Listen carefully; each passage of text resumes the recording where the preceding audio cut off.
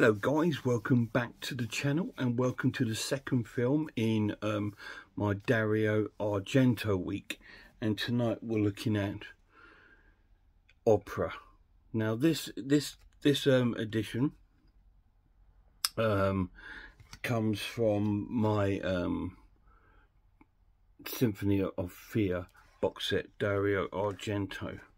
Um, now this is one of his a bit later into his career after his early films. We looked at an early one, and this is one that come round not far from the sort of Suspiria sort of time period of his work, and this is an absolute delight of a film. Um, absolutely love it, and it is one of my favourite Argento films. Um, it it's a very creative sort of film, and it's it's amazing in the sense of like the soundtrack. I am an absolute sucker for opera. I love opera. I really do. You probably wouldn't think it, you know, because I'm into my, my rock music and everything, but I absolutely adore opera.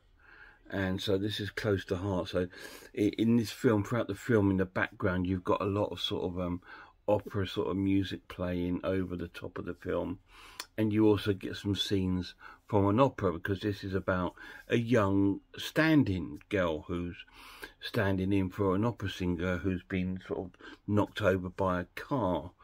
And um, and obviously this opera singer is very very resentful because um, she's um, being replaced by her stand-in. And this is over an opera of um, Shakespeare's Macbeth. Um, so it's all but quite a dark opera, and it even has live ravens in in the opera show, and it's very very dramatic opera, and it's a very very cool opera. Um, in and this young, this young sort of girl, this is her first um, time to hit the stage because she's just a stand-in. Um, she she she took the place of the uh, singer because the director of the um, the opera believes she he, she knows the, the play or the opera inside out, and there's no one more perfect to take her place.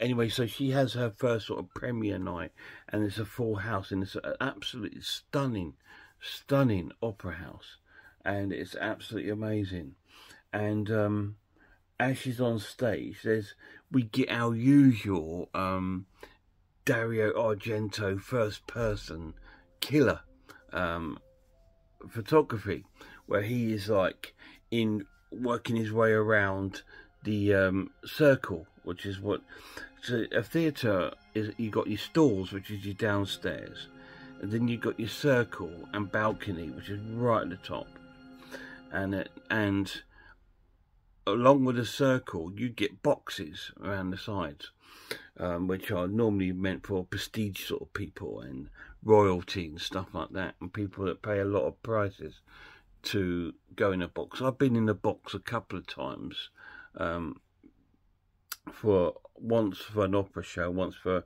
a, a, rock concert at the Royal Albert Hall. Um, but yeah, it's um, and we, we see our killer arrive into one of the boxes and he's here watching our our sort of standing on stage.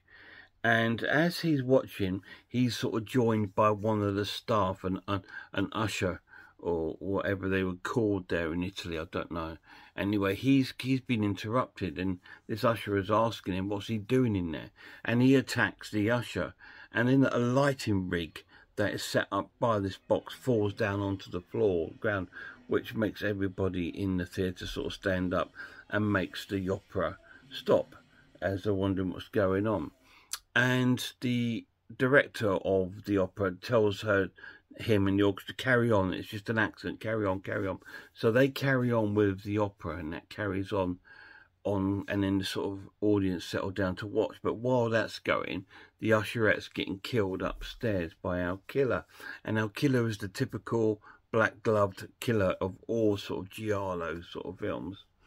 Um, and he gets a rather nasty end. And the, the, the show's an absolute success. And she absolutely smashed it. And she's fantastic. Uh, really, really cool. Um, and she's getting a lot of praise and lots of everyone saying how, how magnifico she is, except back at home, we cut to at home, we see the, the opera singer with the broken leg from the accident. She throws her glass at the TV, so she's obviously one of our suspects or, or, or something along those lines at this stage of the film. And the police are around to investigate and stuff like that. And our opera singer's got like a a boyfriend who's like one of the stage hands of, of the of the theatre, and she's she's relaxing at her place with him, and a massive sort of like uh, noise sort of occurs. Sorry about that, my phone was ringing. Uh, noise occurs, and um, he goes to investigate it, and our killer's in the room and grabs our girl and ties her up. And he does the most sort of like um, malicious thing to her, really. He gets these um, pins that he's he's sort of like got onto tape.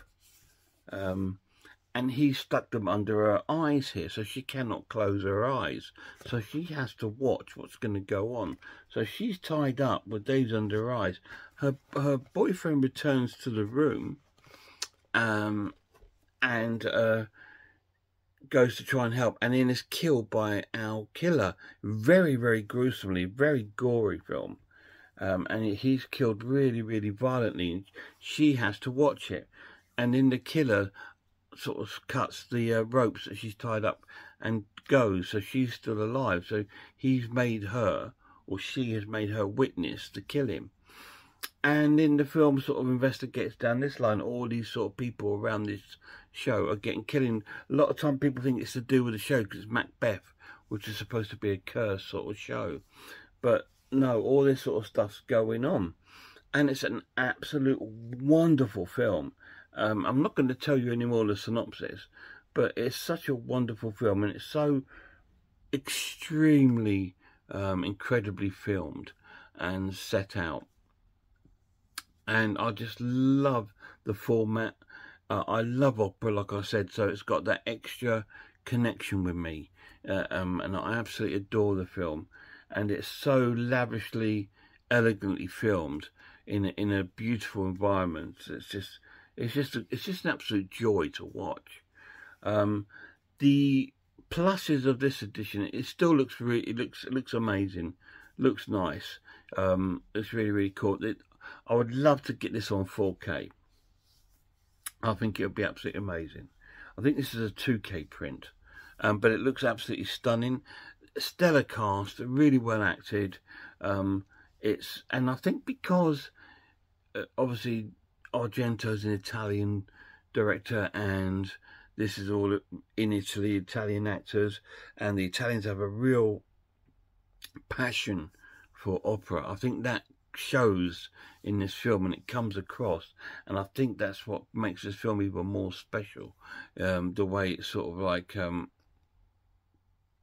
you can see that element in in the film and I just really enjoyed every minute of it um, absolutely fantastic film. Uh, the minuses of the film, it, it's it there isn't none to me, but it is quite a slow film. It's a giallo film, so it's going to be that little bit slow, but it's so edge of the seat, gripping um, horror film. Absolutely amazing, love it. So I'm gonna score um, opera an incredible watch and give it a 9 out of 10. I was going to give it a 10 out of 10, but um, something inside of me just thought, no, it's not a 10 out of 10 film. It's very close, but it, but it's not. Um, it just, I, I think it's because I, I know it's not going to be for everyone. Um, and I think that's why I've scored it as 9 10. For me, it's perfect. I absolutely love it.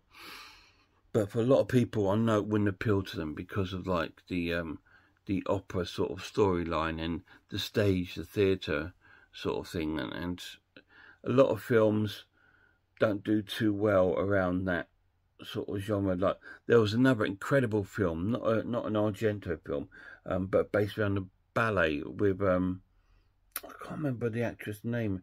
I'm sure it was Natalie Portman in it, and I'm sure it was called Black Swan. I don't know if any of you guys seen that, but I loved that film too. Um, but this is sort of like a really early version of that, but more gory and more Argento style. Um, so absolutely fantastic opera, nine out of ten. Any of you guys seen it? If you have, let me know down below what you thought of it. I thought it was absolutely amazing. There's just so many good Argento films. He's such an amazing director. I really need to indulge more into his films. Um, I do have quite a few of them, and I have a few sitting here that I've not watched for years, and I really need to delve back into them um, and, and give them a new a new watch and um, and a new view because sometimes over years your views change. Like Suspiria when that came out, I was not a huge fan of it. I thought it was a bit too, which is strange because obviously it's a witchcraft film, and I love my witchcraft films. But over the years, it's now grown on me. Where opera, I fell in love for the very first time I saw it, and I still love it today. Really cool film, and that is the second of my Dario Argento films in the Argento week. So we've got one more to go on Friday, and that is going to be what I believe to be his greatest film. Um, so I'll leave that to them. Until then, check out some horror channels for me. Check out Horror Hands, The Horror Geek, Man v Film, RS Designs, Pizzawell.